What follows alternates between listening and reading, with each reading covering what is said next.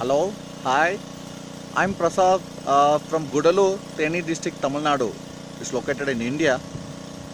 So, I wish to share with you my ideas that uh, in my location we used to cultivate Paneer muscat grape variety.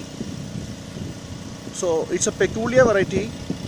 It has lot of uh, good qualities like uh, we, we, we don't have any specific time for pruning throughout the year around 360 days we start pro, we, we can do pruning and uh, we can get the yield.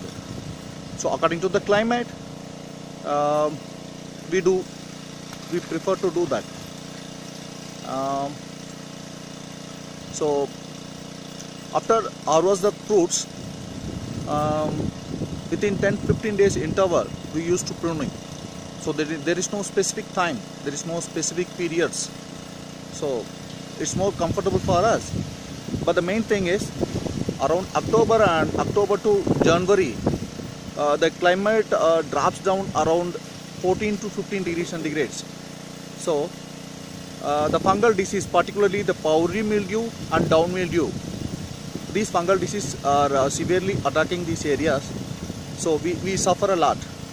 For that the powdery mildew we used to spray uh, Antracol it's uh, I, I will show you I will show you the samples. Um, see this is a sample. Its name is Antracol so it's available in India.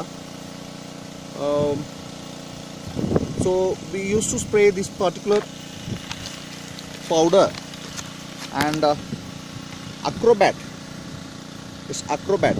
Acrobat from uh, from uh, BASF company. The chemical name is dimethomorph 50 percentage WP so we used to spray this both of them.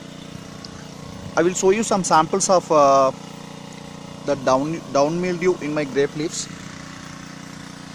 See this is the place I think I think you can easily identify.